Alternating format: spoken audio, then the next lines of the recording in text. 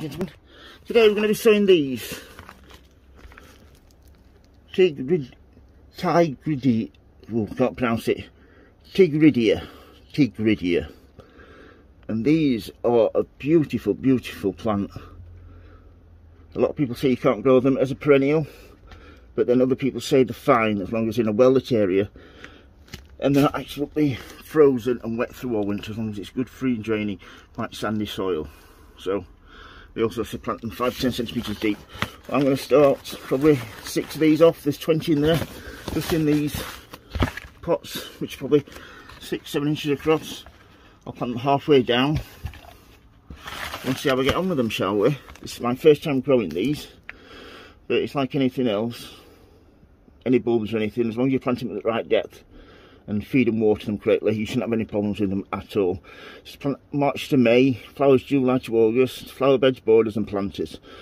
So bulb size 5 to 7 centimeters so we should be fine in here but I can't see how they are 5 to 7 centimeters can you? I think somebody's got that wrong anyway let's get them open. Like see what it says on, on here first shall we? So it says Tigridia is an exotic, beautiful.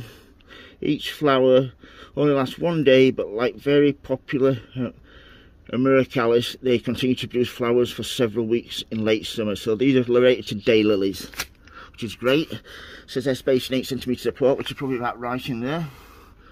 Well drained soil containing leaf mould and peat. So everything else is spot on. But I just love those. I just absolutely love them. You think you better grow something that look that exotic in this country. Absolutely spot on. Let's get them open. Bear with me, ladies and gents. Sorry about this, folks.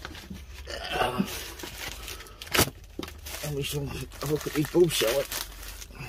Always nice to grow something different. Every year I always try and grow like at least five or six different things that I've not grown before. Always like to learn new things. I suppose they're not bad. So, let's get some soil in these first, shall we? So fill them probably a third full. Don't want to plant them at the depth they recommend. I'm using a peat-based compost, like I said, growing peat, so that's perfect. Give it a tap down, both of them. A bit more, keep it nice and level and then top and bottom quite self-explanatory there. See the bottom with the dry roots the top has got a point to it. The bottom is rounded if the roots aren't there. So three in it i'm going to put three in each one of these. Just like a little triangle. Two three. Do the other one. So yeah i always love to learn new things in gardening. Never stop learning with gardening always all the time people's tips and tricks. Once they're in there, just cover, I'm going to leave right to the top, just leave probably a centimetre so I can water them without the water running over the side. That's there. Give it a tap down with your hand so it's firm, but not too firm. And the next one.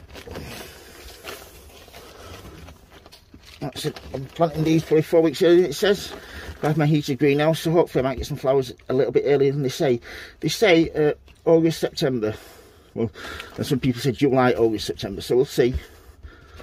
They're probably late flowering these, but I'm going to be probably taking them in every year because when it says, I'll just give them water with my little water bottle. Whenever they say they can survive, I'll probably, I'll probably plant some in the garden and see if they survive. That's the best thing to do. But all the ones in pots will be taken in and stored. Give them water like so. Once they've watered, they will go onto my shelves. And I shall wait for them to start germinating, sprouting and growing. So yeah, if you've got any questions about anything growing in my greenhouse, please don't hesitate to ask folks. If you like my videos, please subscribe and like.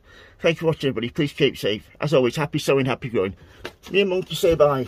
Say bye goodbye, Monkey. Goodbye, Paul.